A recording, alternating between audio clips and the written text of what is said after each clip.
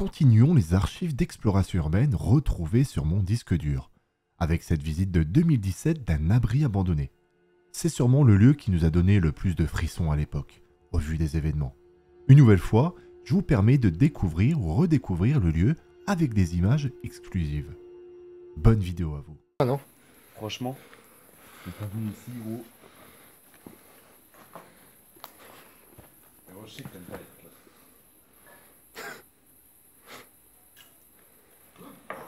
Ouais, sur la porte, tu mets ton pied là. là. Mets ton pied en bas, ouais. Là maintenant, accroche-toi à l'anneau. Et là, ici, t'as une petite poignée, tu peux mettre ta main aussi. Voilà, maintenant on fait Bélec, tranquille. Voilà, tranquille, voilà. Ouais. Tiens, je te rends, parce qu'en plus ça bouge quand on change de main.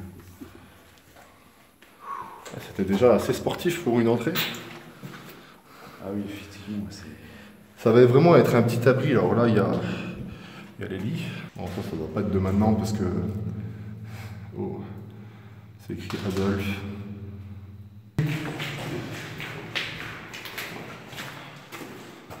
Tu veux regarder le plan ou comment c'est Euh, Non, il est facile le plan. Honnêtement, je crois qu'on n'est même pas obligé d'avoir un plan. Ça va un peu à droite, ça va un peu à gauche. Euh, À un moment donné, il y a une pièce où c'est écrit euh, infirmerie et tout ce qui s'ensuit. Après, il y a la, la fameux tag qui s'y frotte ses pics. Je sais pas, on fait comment? Bah, de toute façon, ça avec toi. On commence par là.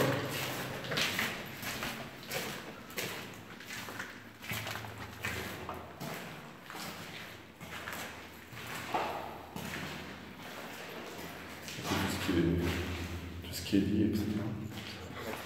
J'avais envie de te dire des lits superposés. Non, c'est, euh, quand on aura plus d'argent, on en faire à quelqu'un. Et tu lèves Ouais, je l'ai, si tu veux. euh, Excuse-moi, quand Ah. c'est une petite transition. Bah ouais. Tu sais, on la met dehors. Ah, bah c'est la fameuse salle où il y a. Ah ouais, on ne passe pas.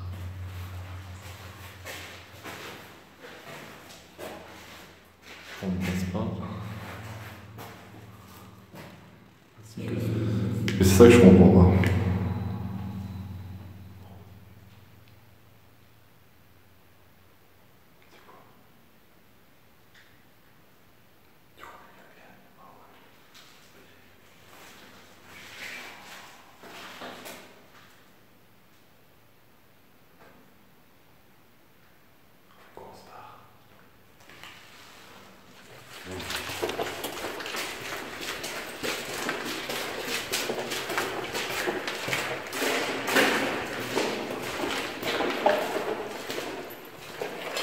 Il y a quelqu'un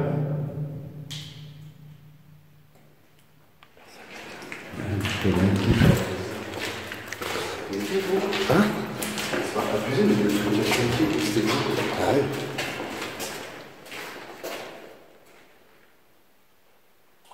Pour moi, ça venait plus de là. hein. Ah, mais c'est pas les descentes, tu crois que tu dis ça, c'est pas ça. Ouais, je sais, mais. Branches, la porte elle est fermée et tout. Moi, donc je peux pas.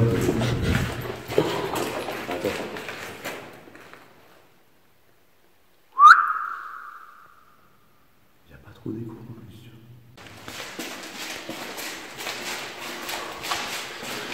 Ok, merci monsieur Nicolas. Putain, mec. Ça m'a créé. Non, non, non. C'était quoi ça Encore le même boom que tout à l'heure.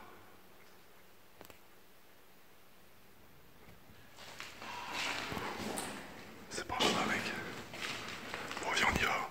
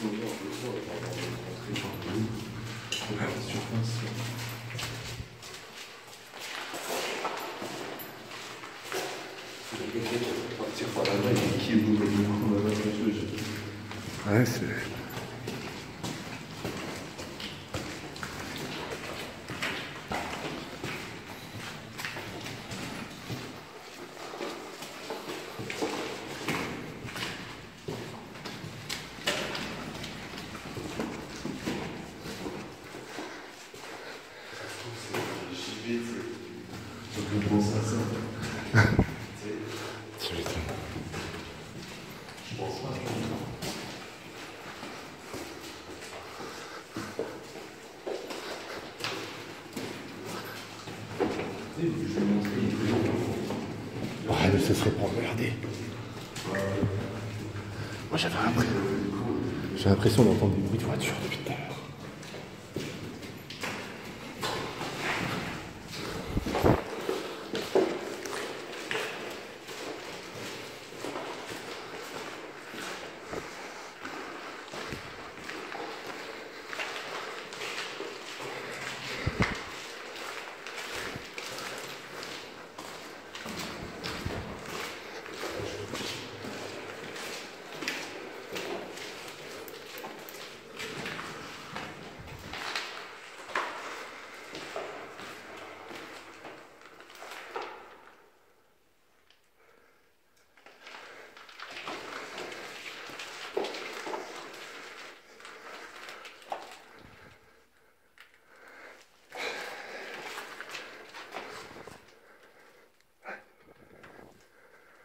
Cet épisode touche à sa fin, comme vous avez pu l'entendre ou non, différents bruits venant de l'extérieur ou de l'intérieur, ça, c'est l'une des questions que l'on se pose encore quelques années après. Y avait-il une présence humaine, une présence euh, de l'au-delà, ou quelqu'un qui voulait tout simplement nous faire une mauvaise blague pour que l'on puisse partir de ce lieu?